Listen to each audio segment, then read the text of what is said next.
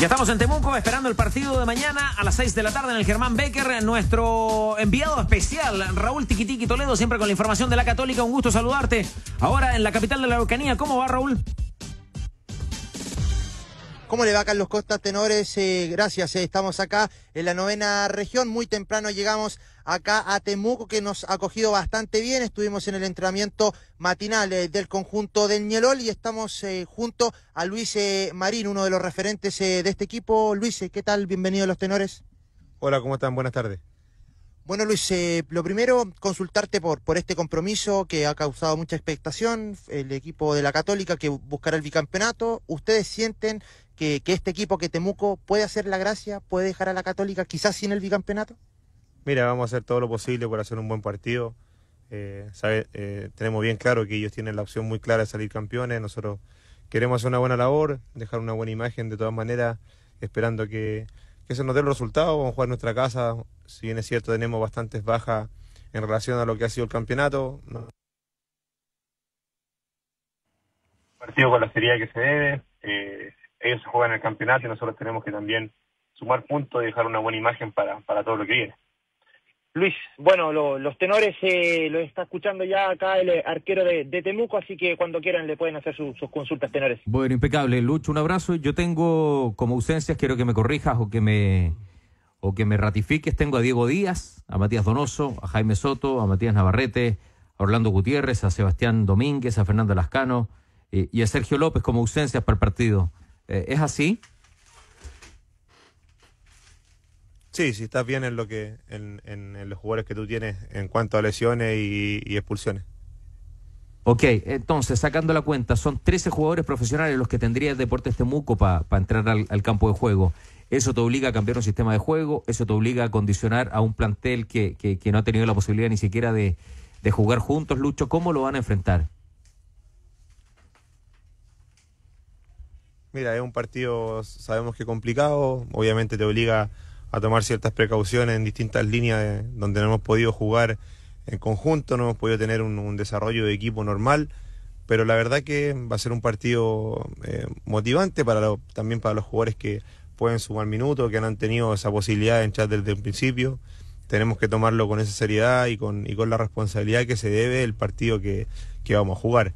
Más allá de que sea eh, un partido en que Católica define muchas cosas, nosotros también tenemos que que tomarlo con esa responsabilidad y seriedad que significa jugar nuestro último partido en casa, poder hacer lo mejor posible y ojalá poder dejar los puntos acá, que sería importantísimo para nosotros. Obviamente hay que dejar una buena imagen en, relación a lo deportivo y todo lo que se viene para adelante. Eh, Lucho, ¿por qué le ha costado tanto a Temuco de local? ha sido, ha sido difícil, no ha sido un, un campeonato creo que favorable. Tenemos un buen fútbol, eh, eh, podemos llegar, nos asociamos bastante bien, pero hemos, hemos, tenido también mala suerte. Hemos, hemos, no hemos podido definir los partidos en los momentos que, que, hemos querido o hemos tenido desconcentraciones que nos han costado goles y, ha logrado sacárselo. Entonces también muchos equipos eh, nos enfrentan de una manera distinta. Nosotros hemos intentado siempre mostrar un fútbol que propone, una idea clara de juego, poder asociarnos bien, un equipo que intenta eh, salir jugando la mayoría de las veces, poner la pelota al piso, intentar hacer un buen fútbol a la vista. Hemos tenido también un, cachito de mala fortuna, creo yo. Esperar que, que ahora con, con las incorporaciones que puedan llegar, eh, lograr hacer una buena pretemporada y, y, que sea un segundo semestre totalmente distinto a lo que, a lo que mostramos hoy. Hoy obviamente si, si miramos la mitad del vaso vacío, siempre se va a ver todo mal pero creo que para hacer el primer semestre en, primera división eh, tenemos que mirar la mitad del vaso lleno e intentar eh, sobre eso eh, asumir la autocrítica y poder mejorar en todo lo que viene de aquí para adelante.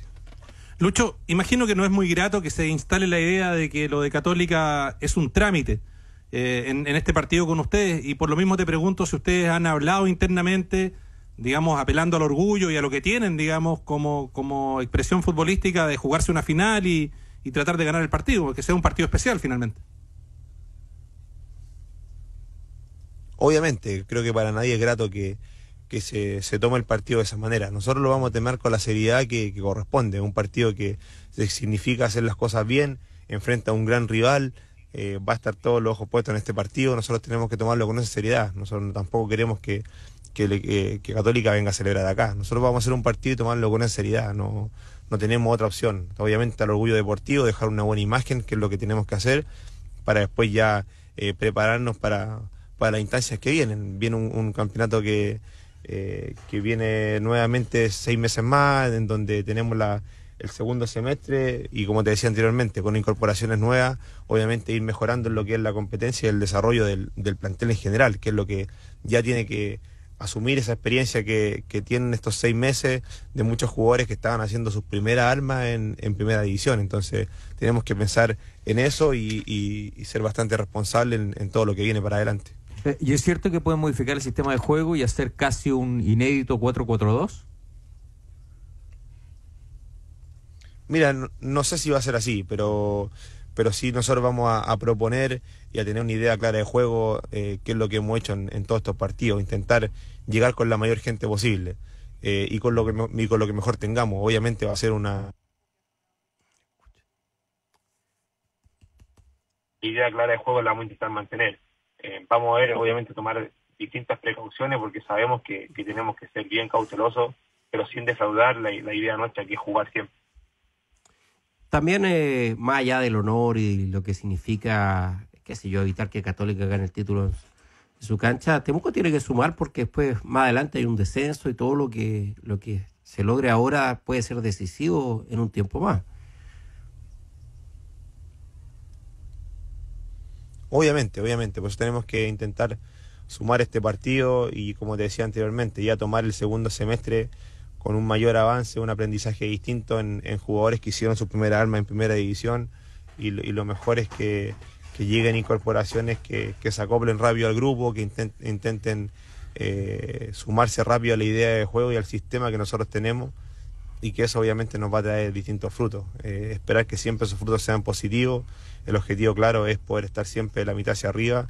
Hoy día el equipo en primer semestre partió muy bien y como te decía anteriormente, creo que eh, fue un cacho de mala suerte también lo que tuvimos, porque el equipo siempre intentó jugar, siempre mostró un buen fútbol. Creo que el partido pasado con, la U fue uno de los pocos partidos donde el equipo se dio distinto. Pero los demás partidos siempre jugamos de la misma manera. E intentamos hacer eso. Esperemos que, esto siga para adelante y que, y que podamos mantener esa idea de juego, esa forma y poder hacernos cada día más fuerte y que el equipo sume una mayor experiencia en todo momento. Luis Marín, eh, portero de Deportes Temuco, dos cortitas para, para cerrar eh, y agradeciendo, por cierto, la, gentileza de conversar con ADN Deportes. Eh, la primera de ellas, sus ganas de volver a la capital, se lo menciona como opción de refuerzo en Colo Colo. Para mí es un, es un rumor, no, no he tenido ningún llamado formal ni nada. Yo tengo un contrato acá hasta el 2018, yo lo dije hace un tiempo atrás. Para mí esto que se rumoreó no, no tiene ninguna formalidad porque no eh, conmigo no han hablado. Entonces no, hoy día me, me interesa poder eh, terminar de la mejor manera posible acá, tomarme mis vacaciones y poder eh, estar con todas las pilas puestas para, para, lo que viene en el segundo semestre. ¿Cómo ha visto a Fernando Lascano? Lo conversaron ahí en el camarín. ¿Cómo está de ánimo el jugador? Cuatro fechas de suspensión. Sí, es una lástima. Creo que en otras ocasiones no se midió con la misma con, con la misma vara. Creo que, que, Fernando tiene que estar tranquilo, nosotros lo conocemos, no es una jugada malintencionada. Él después del partido logró poder ir y conversar con, con Jonathan. Eh, nosotros lo que lo conocemos bien, eh, sabemos cómo es como persona en la jugada.